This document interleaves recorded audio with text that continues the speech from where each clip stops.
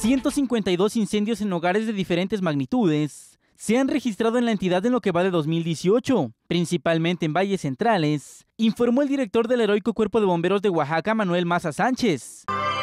Hemos atendido más de 152 incendios estructurales, esto es en casas habitación, desde una casa que se quema eh, algo menor, un pedazo de ropa, de madera y demás, hasta las conflagraciones de una casa completa, como la que tuvimos también hace unos días en la zona norte de esta ciudad. Eh, se incendia una casa hecha de madera y bueno, y se consume en su totalidad, por el tipo de material y lo rápido que avanzó el fuego.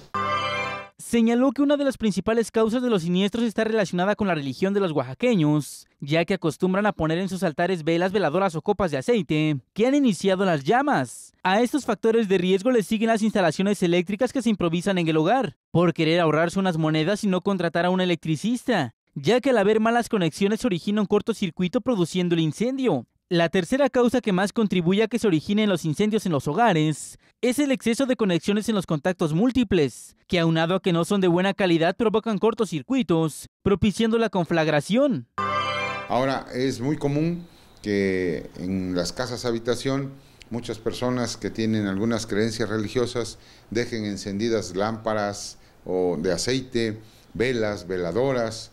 Hay otras más que no tienen el mínimo cuidado con sus instalaciones eléctricas, se provocan cortocircuitos.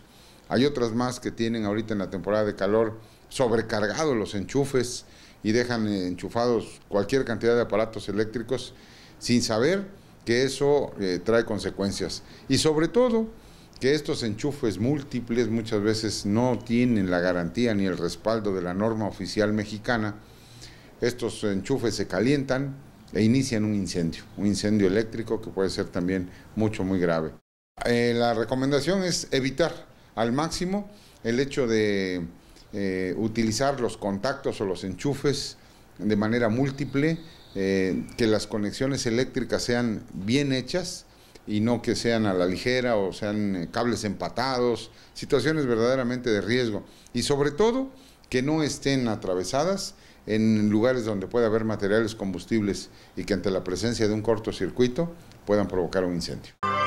Maza Sánchez señaló que algunos llamados de auxilio de la ciudadanía que reciben con mayor frecuencia son por fugas de gas, que en lo que va del año han atendido poco más de 300. Estas últimas, si no se detectan a tiempo, pueden desencadenar en el incendio del cilindro, situación que dijo es común en la capital oaxaqueña, ante el descuido de las amas de casa en la cocina, en caso de detectar un incendio en un tanque de gas, lo más recomendable es alejarse. Pero si apenas comenzó a arder, se le puede lanzar un trapo mojado para sofocar las llamas. Solo al principio, pues cuando lleva un tiempo ardiendo, el riesgo de explosión aumenta, dependiendo de las condiciones del contenedor de gas. Cuando un tanque de gas se llega a incendiar, lo mejor, si es que tenemos el control físico y mental para hacerlo, es colocar un paño húmedo encima o apagarlo con un extintor porque sí se puede hacer. Pero si definitivamente nosotros no podemos hacerlo, lo mejor es retirarse del lugar y pedir auxilio a los bomberos al 911. En ambas situaciones el director de bomberos señaló que lo más recomendable es hablar al 911 para que profesionales atiendan la emergencia y evitar marcar a familiares o conocidos para que solucionen el problema, pues puede que no contribuyan en nada y las pérdidas sean mayores o irreparables. Yo le pido a la ciudadanía que aun cuando muchos conocen los teléfonos de un amigo, un conocido, un pariente bombero y demás, no es lo adecuado marcarle a sus teléfonos celulares.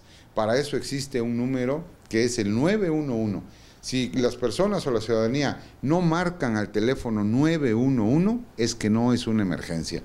Para eso está. Entonces yo sí hago un llamado respetuoso a todos para que cuando tengan una verdadera emergencia lo canalicen a través del 911, que es el centro de recepción y despacho para la atención de las emergencias policíacas, médicas, de incendios, de fugas, derrames, rescates y todo aquello que en un momento la ciudadanía pueda necesitar.